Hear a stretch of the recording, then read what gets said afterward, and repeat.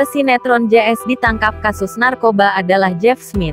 Artis inisial JS yang diamankan karena kasus narkoba adalah Jeff Smith. Kabar itu telah dibenarkan oleh Kapolres Metro Jakarta Barat Kombes Pol Adi Wibowo.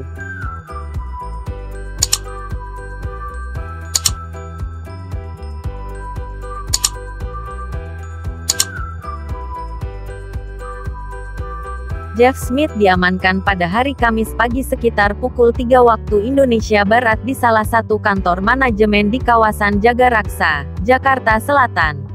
Seperti apa pengungkapan kasus narkoba ini?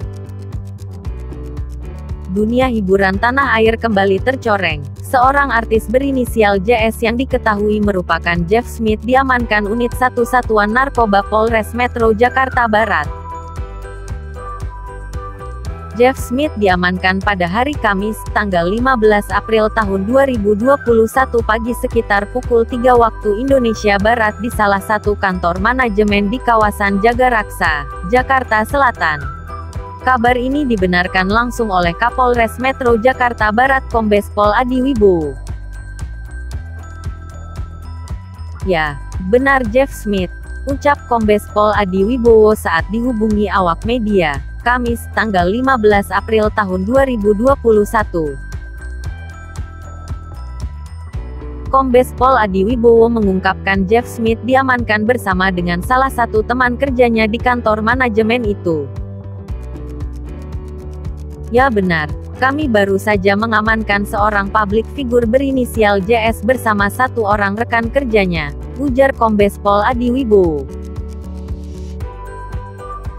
Adi menyampaikan saat diamankan, petugas kepolisian menemukan barang bukti berupa narkotika. Sementara itu, Kasat Narkoba Polres Metro Jakarta Barat AKBP Ronaldo Maradona Siregar menjelaskan pihaknya menemukan narkotika itu di sebuah kendaraan. Ditemukan narkotika di sebuah kendaraan yang ia pakai namun kami belum bisa memberikan keterangan lebih rinci terkait penangkapan tersebut. Kami masih melakukan rangkaian proses penyidikan lebih lanjut nanti akan kami sampaikan secara detail tutupnya, ujar AKBP Ronaldo yang menceritakan penangkapan artis JS. Diketahui, Jeff Smith merupakan pesinetron blasteran Amerika Serikat Indonesia. Ia mengawali karir aktingnya dalam sinetron berjudul Romeo dan Juminten pada tahun 2016. Saat ini ia terlibat dalam sebuah sinetron putri untuk pangeran sebagai sultan.